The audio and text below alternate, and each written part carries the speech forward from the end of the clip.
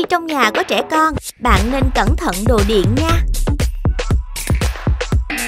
Trẻ con thì chưa ý thức được sự nguy hiểm xung quanh đâu. Bạn hãy làm gì đó để đảm bảo sự an toàn nào. Chuẩn bị một hộp nhựa rồi cắt hai lỗ ở hai bên thành hộp. Chúng ta sẽ bỏ ổ điện vào hộp nhựa rồi đậy nắp lại. Hai lỗ sẽ là nơi luồn dây điện vào để sử dụng điện.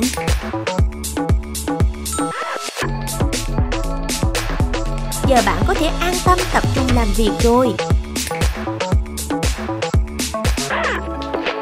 Chẳng có gì để chơi đâu cậu bé à.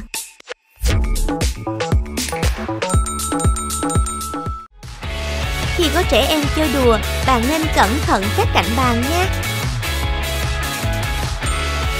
Bạn dùng dao cắt trái banh lông ra.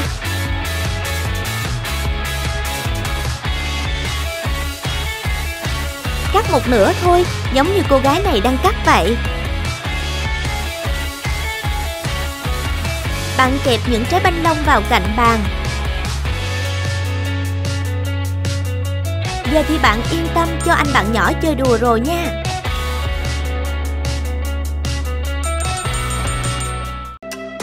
Con nít hay dễ bị kẹp tay ở cánh cửa lắm. Bạn nên tìm cách để hạn chế việc này. Bạn cắt ống xốp ra theo dọc thân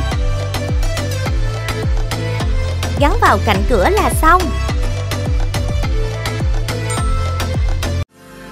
Khi bạn có một cậu con trai hiếu động Bạn sẽ đau đầu vì những trò chơi phá phách của cậu con trai bày ra mỗi lần chơi đùa trong nhà. Bạn luôn là người dọn dẹp chiến trường của cậu con trai bỏ lại. Có cách rồi. Bỏ tất cả những chai này vào hộp nhựa to. Sau đó bỏ lên kệ.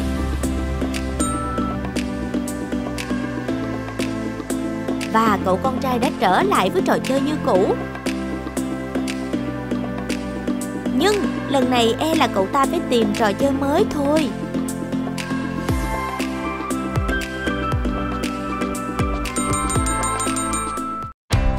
Con nít thường thích mở tủ lạnh ra chơi lắm, Và chúng chẳng đóng lại đâu. Dán hai móc treo tường vào, Rồi cho dây cao su vào móc hai đầu đó. Và anh bạn nhỏ không phá phách nữa rồi Bạn thấy giấy vệ sinh thế này là biết thủ phạm là ai rồi bạn dùng dây cao su buộc lại là cậu con trai không phá được nữa đâu. Con nít mà, hay phá phách lung tung lắm, căn bản vì chúng thích thế. Như cậu bé này, lấy sách và vứt lung tung khắp nhà.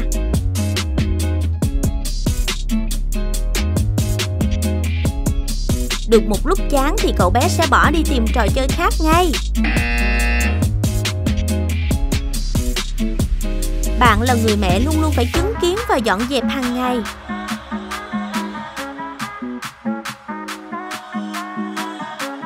Phải nghĩ ra cách Nếu không lại phải dọn nữa vào ngày mai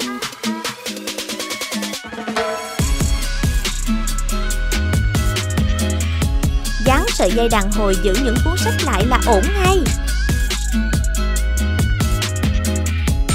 Với chiều cao cậu bé thì lấy sách ra hẳn là khó khăn. Hết phá rồi nhé, nhóc con phá phách ơi.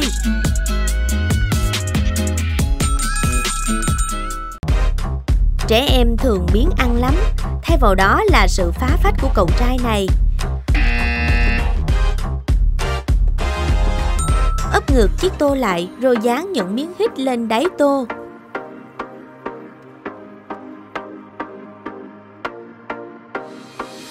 Mục đích làm vậy là để giữ cố định cái tô không bị dịch chuyển.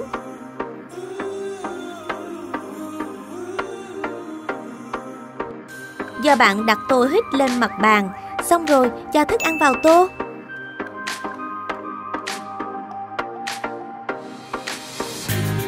Khi đã xong xuôi, Hãy cho cậu bé vào ăn nhé. Giờ cậu bé đã ngoan ngoãn chịu ăn rồi. Cách này hiệu quả đó, Các bà mẹ nên làm theo nhé. Khi bạn tập cho bé tự ăn một mình, Cậu bé ăn rất là bẩn luôn nha. Thức ăn dính đầy trên áo rồi. Bạn trải khăn ra và gấp lại làm tư.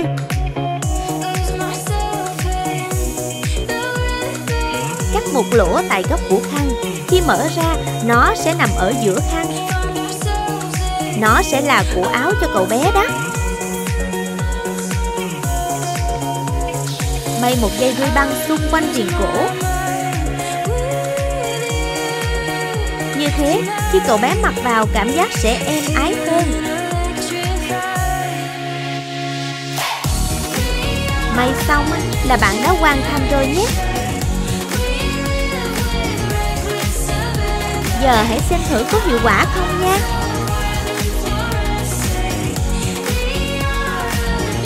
Mặc vào người cậu bé trước khi cho bé ăn.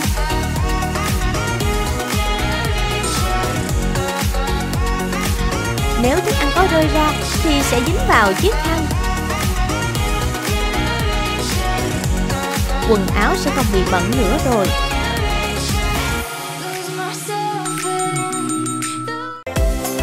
Bạn cắt theo vòng tròn đánh dấu trên đĩa nhựa. Cho keo lên chai thủy tinh và gắn đĩa nhựa vào.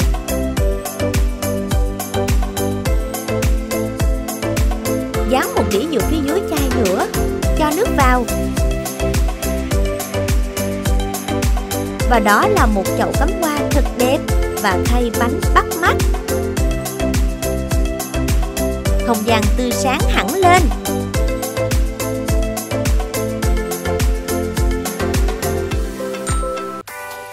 Con nít mà, thích vẽ tranh lắm Nhưng nhờ thế mà trí óc phát triển đấy.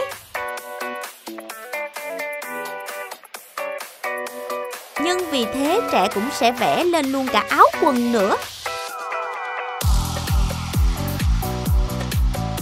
Việc giặt cái áo này hẳn sẽ tốn một khoảng thời gian kha khá đây. Và bạn là người mẹ vất vả, Ngày nào cũng giặt giũ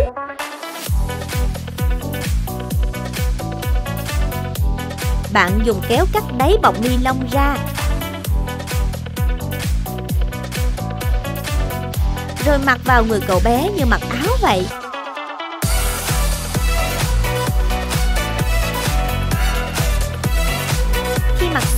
Bạn có thể cho cậu con trai tha hồ vẽ bậy lên áo.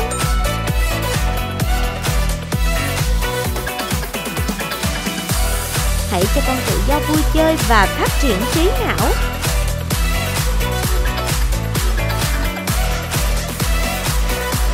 Vui hơn nữa là bạn không cần lo quần áo dính bẩn nữa rồi.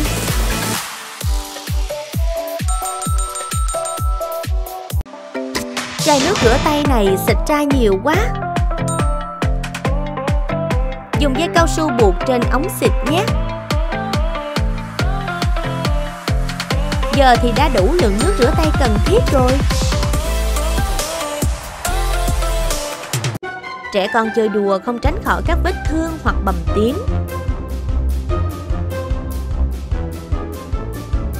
Bạn hãy nghĩ ra cách để hạn chế tới những vết thương nhé mềm ra và may lên quần áo của con bạn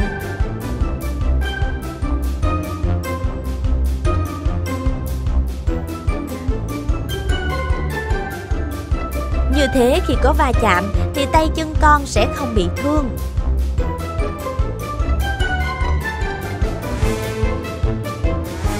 Hãy cho bé thỏa thích chơi đùa vì có tấm áo giáp bảo vệ.